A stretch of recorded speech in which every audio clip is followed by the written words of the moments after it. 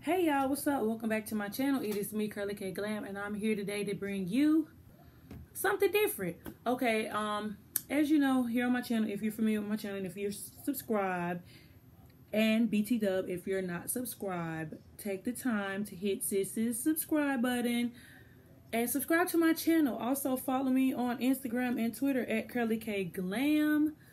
And um, I'm just coming here because I want to try something new on my channel it's not really new. It's just something different, really. Well, I guess that's new. Anyway, um, if you're interested in this wig, I have reviewed this wig before. This is a um, You Straight synthetic unit that I bought off Amazon. I will leave the link down below if I don't forget. But if I do forget and you are interested in this wig, please search my channel for um, my Amazon um, synthetic wig review. This is the only synthetic wig that I reviewed on my channel that is from Amazon okay. I thought about, you know, I used to review Grownish, and that was like my first time like dabbling in TV show reviewing. So, since this wave of um new, not new, but older nostalgic black sitcoms is coming out, I just wanted to um review some older sitcoms from like the 90s and during the time that I grew up that you know of course i'd heard of and was familiar with and seen episodes here and there like when they're on tv for reruns. But now that streaming is a thing and we can actually watch a show in order the show that i will be talking about slash discussing slash ranting about is hanging with mr cooper. Now if i'm not mistaken hanging with mr cooper hanging with mr cooper was a, originally a abc or abc family show which is now ABC slash Freeform. So, Hanging with Mr. Cooper in the beginning was a show based on three friends who lived together in a house. Mr. Cooper, who was played by Mark Curry, um, he was a professional basketball player, but then he ended up getting cut from the um, Golden State Warriors. And so he ended up, you know, teaching at a local high school in Oakland. So the show takes place in Oakland. I watched this show on Hulu, and I'm not gonna lie, it was a struggle for me to watch Hanging with Mr. Cooper initially in the beginning, and um, well, not in the beginning, but maybe towards the middle of the show, and um, I don't know why sometimes sitcoms have to go through this, but I've seen a lot of black sitcoms that were primarily in the same time frame go through this, so Hanging with Mr. Cooper, like I said, was based on three friends. They all lived in Oakland, which I think this is the only show that takes place in Oakland that I know of because, you know, I could be ignorant to some other TV shows, but that's neither here nor there. So, initially, Dawnn Lewis, who played Jaleesa on Different World, was in the show, and Holly Robinson Peete had been, you know, a show regular throughout the duration of the TV show. So in the beginning, the show was good. I like the camaraderie of the show. Um, the intro was, you know, colorful and bright, just like the 90s. The 90s was full of color and it was it was bright. And so Mr. Cooper was supposed to be like that um swaggy, down to earth young teacher that is at your high school. And no lie, I had a um, teacher at my school, and when I was in high school named Mr. Cooper, and he was like a swaggy, legit young teacher, and he also coached basketball. He wasn't tall like Mark, but he was a swaggy. And all the dudes like were like, yo, cool, yo, cool, Mr. Cooper. You know, he was like that teacher, just like Mark. And so, of course, from the beginning of the show, there was a student named Earvin who's played by Omar Epps. So Omar Epps was basically a recurring character throughout the whole show until probably season four or season five, which we know Omar, not Omar Epps, Omar Gooding. Sorry, y'all. Omar Gooding, who was Cuba, Ju- Cuba Gooding Jr.'s brother. He was very popular and actually was on the scene, I guess, before Cuba was. But um, I think Hanging with Mr. Cooper was probably one of his like on screen TV regulars shows before he got Smart Guy. So I thought Omar Gooding was a good um, add to the show. Mr. Cooper had tons of guest appearances on his show. He had Cheryl Miller. He had Jamie Foxx. I even saw um, Countess Vaughn in one episode. Of course, Marlon Santana was in one. Um, I think his name is Dion Richardson, if I'm not mistaken. But he um he played Jordan on Sister Sister. He played Tamera's boyfriend Jordan. Um who else? They had um Dwayne. His name ain't Dwayne in real life. I can't remember his real name, but he played Dwayne on One on One. He was on the show. Um, who else? Of course, you had a number of like basketball players, um, and football players, but um, the shows even the Olsen twins played on one episode of Hang with Mr. Cooper. But anyway, so this show was kind of popular. I could see it was very popular. The show ended up having five seasons. The last season, all the seasons had 20 plus episodes except for the fifth season, which I don't know why, but we'll, you know, get into that. So originally, like I was saying, the intro back then in the 90s, all TV show intros were mostly sang by R&B acts or popular hip hop acts. And so in the beginning of season one of Hanging with Mr. Cooper, I'm on six minutes already, I'm rambling on Mr. Cooper, his initial um, song was sang by Dawnn Lewis, Holly Robinson Peete, and En Vogue, which I was like, okay, that's fine. So the show was basically like they all friends. I can't remember what Dawnn's character did on the show, but I know um, Holly Robinson Peete was a spoiled, bougie um, girl throughout the duration of the show. Um, of course, Mark dated. He was a playboy, so he had all these girls that he dated. And then at the end of the first season, Dawnn Lewis leaves. And I'm just like, sis, what happened? And to this day, I still don't know what happened. I'm probably going to have to go and do further research on what happened because I don't know why shows always be good and it's, it's just the chemistry is good and then somebody will leave. Like, what's up with that? But anyway, so then after she left, they tried to um basically change I guess the plot of the show a little bit. It's kind of like reminds me of what In the House went through because that show also had five seasons and then they had all these different class. The show wasn't really cohesive. So for the most part, Hanging with Mr. Cooper was cohesive for the most part, but when they bought in um her name is Saundra Quarterman. She played Geneva Lee. And then when they bought Raven in and she played Nicole Lee, um, it, I, it it took some getting used to because it seemed like Mr. Cooper had got kind of dry.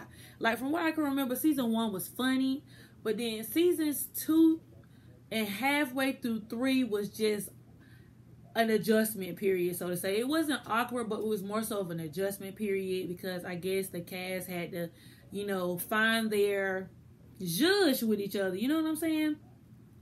Of course, this with Raven playing on the show, that bought, you know, extra viewers to hang with Miss Cooper because of star power of Raven because everybody was obsessed with the cute little girl that was on the Cosby Show.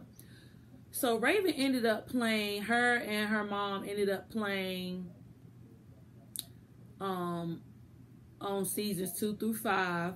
And then they bought in the principal of the high school Mark was working at, who was supposed to be a family friend or someone who used to watch out after him. And so she played on season, all of season two, and I think most of season three. And then in season four, she left the show. And so Geneva, who was Mark's cousin, who I told you was played by Saundra Quarterman, she ended up she was a music teacher at the high school. She came from a country town i guess somewhere in alabama. And her and her daughter came and lived with mark and vanessa in the house in oakland. And then she became the music teacher. But then when the principal left the school she became the interim principal for the school. And so during this time mark had like different opportunities to leave, but then somehow he would end up coming back. So then he had an interview with I think San Diego State, but because something crazy happened, he ended up messing up that interview. And then he had an interview to um coach at the Georgetown um at Georgetown for Georgetown Hoyas men basketball team that ended up messing up. And he ended up giving it giving the job up and staying at school for the kids. So then he was assistant head coach of the basketball team in the beginning and then he ended up being the full basketball the full-time head basketball coach. He was head of ROTC he was a counselor at the school. And he taught basically whatever else or was advisor over whatever else Geneva needed him to be at the time. Um, for the most part, Mr. Cooper was funny. I can only think of out of all the seasons, one episode where they had like a serious episode, and that was against um, gun violence in the schools. And basically, Bumper Robinson played in that episode. He played the school thug, and one of the girls that Earvin was talking to, who he was liking, she actually got shot and killed because of gang violence in California. So I thought that was a pretty um touching episode, and you know I guess was enlightening for that period of time because I think around the time Mr. Cooper was out, I was probably actually when Mr. Cooper was on air. The show ended in '97, so at the time I was five. Um, but I think most of the time, basically, to me in the 90s, what killed 90s sitcoms, especially what killed black 90s sitcoms, was them switching the night that the show comes on. Like, why would they do that? If you know your core audience is to be at home Friday night to watch the show, why would you move the show to Saturday? And that's exactly what happened with hanging with Mr. Cooper. The show ended up coming up. It was part of their. It might not have started out on Friday, but it got so popular that it was part of the Friday night lineup that was on ABC. And then I think they booted it for Sabrina the Teenage Witch. And no shade, but Sabrina the Teenage Witch was not all of that. Like that show was very, very dry, and that cat was creepy. Like I don't know, I don't know who enjoyed Sabrina the Teenage Witch, but to each his own. I mean, everybody got their own taste, but I don't think that Hang with Mr. Cooper should have got the boot to Sabrina the Teenage Witch. That's just that on that. Also, at the end, towards I think toward the middle of no, no, no. At the end of season three, something strange happened where they tried to set it up where Mark and Vanessa was gonna be together. So basically, um, Geneva's aunt came and she felt their heads and did something weird and was like they're gonna be together. And so then they tampered with the idea of Mark and Vanessa being together. They was like, nah, all right, that's not a thing. And so they went on. So Gene- not Geneva, Vanessa had just broke up with her fiance because she was gonna get married to a doctor, and they had moved to New Guinea. And then she came back. It didn't work out, so she was dating. Mark was dating, and then that was the end of that. So then, at the end of season three, she's dating somebody, and Mark all of a sudden is jealous.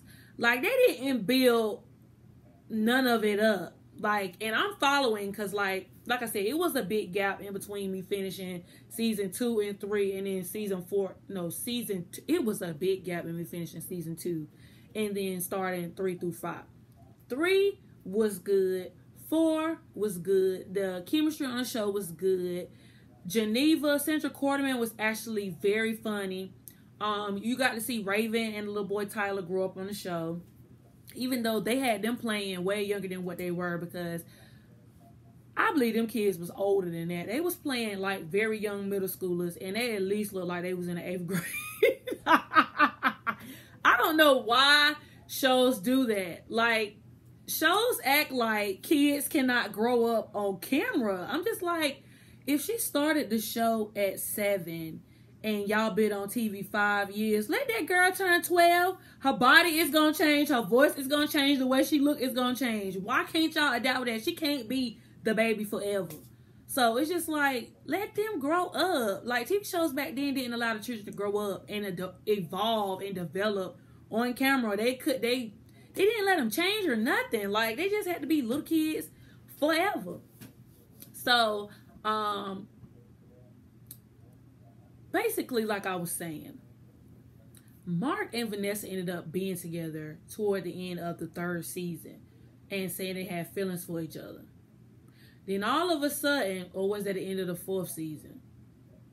Whatever. It was the end of one of them seasons, three or four. They ended up entertaining the idea of being together and they thought they had all this chemistry. Then next thing you know, two episodes later, Mark thinks that Vanessa's old fiance is coming back, so he proposes to her. So they literally had been going together two episodes and then they was engaged. And so then majority of season five was them planning a wedding. And then at the end of the season there was you know there was there wasn't even a wedding. So I don't know who wrote I mean and if you look at the credits and if you look on like line, you can see that Hanging with Mr. Cooper went through three different production teams. They went through three different directors. Like the show didn't keep the same set of executives. And you could tell like with the plot. So I'm guessing with all that going back and forth, the writing for the show had changed. Like it was just a mess, especially toward the fifth, the end of the fifth season. And the fifth season only had 13 episodes. And then I stayed up trying to finish my show because I only had one more episode to go. So I made myself stay up. Bruh. Do you know at the end of the episode, they didn't even wrap up the show. Basically, Mark was like, Thank you for 100 episodes. We love y'all. Good night. I'm like, what kind of ending is that for the fans? What about the fans? Like, we how you gonna develop a show for five seasons people sit there and grow attached to the characters and then it's just blah like blah like how do y'all do how do y'all do that and then you put us all through mark and vanessa getting together and there was no wedding i read online that at the last episode, the last episode actually aired on TV only one time. Because I think around the show, around the end of the show, they said that the broadcast was interrupted because Princess Diana had passed. Rightfully so, which that should have aired. But as far as syndication, I don't remember hanging with Mr. Cooper being on TV like that. Like, it is never a time where you can flip a channel on TV and not see Family Matters or The Cosby Show or Sanford and Son or The Parkers. Like, it's just certain TV shows that are all certain black TV shows that are always on TV. I never see hanging with Mr. Cooper on TV. And Different World even had a little bout where it was always on TV, but now it's not on TV like that no more. So I'm just like, what ha- Oh, and Martin and Fresh Prince is definitely always on TV. So I'm like, what happened? What happened to hanging with Mr. Cooper? Does anybody else like? Is anybody from the hanging with Mr. Cooper era like? Do y'all know like what happened? Because I felt like with the development of the show, I feel like the characters really got good and going around the season three to season four, and then season at toward the end of season four, they just dropped the ball, and it looked like they just threw the rest of the show together for the fans and then was like, this is it, fans. Y'all done. That's it. It's no more. The show is a wrap. And then they could have at least finished the other half of season five and gave them the other 13 episodes, let Mark and Vanessa get married, and then end a show like that. And that's finito. Y'all could have wrapped it up. Y'all just left us all on edge like that. I hate when shows leave you on edge. I felt like I felt like I felt like all the time I spent watching Hang with Mr. Cooper was in vain. And I hate when I watch a TV show and I feel like my viewership was in vain. I felt I felt like that with Living Single, and I rewatched Living Single for a second time. And plus, I will be coming with a Living Single video. I think I'm gonna feel like that at the end of Moesha, which I'm gonna come back and give a rant about that. Hopefully, Sister Sister is not that way.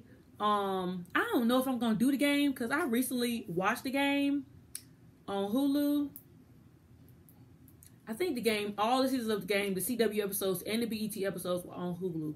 But I think the only reason why CW, I mean, I, the only reason why I think season one through three are on Netflix is because of the legalities between some one network owning certain seasons and then the other network owning the other ones.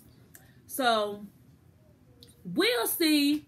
We will see. But I'm gonna need for I'm gonna need the black channels to step up and to air like TV shows besides Martin, Fresh Prince, Cosby Show, and Family Matters. I'm gonna need for them to air some more black reruns. That way the generation coming up now that was raised I don't know what this generation was I don't know what they watched honestly. But we had good TV in the 90s and in the early 2000s we had great TV so I wish you know for them I wish they could see like I ain't gonna say wholesome but what you know nice clean TV was about. I said nice clean TV I like shows that actually had like creative control, like shows that had imagery. Like I feel like sitcoms like the Parkers don't happen no more. And I feel like the only black sitcom that I actually really watch right now, like avidly, is Blackish. So yeah, y'all, I think my rant over about hanging with Mr. Cooper. I'm so disappointed. Like, I'm so disappointed. Mr. Cooper. Oh, that was an era, though. That was an error. Don't forget to rate, comment, and subscribe, sis. I will be back with more of these 90s TV shows overview. I will be back. I don't know who's gonna be next, but stay tuned. Might be Living Single, might be Moesha. Sister Sister come out on Tuesday. But peace.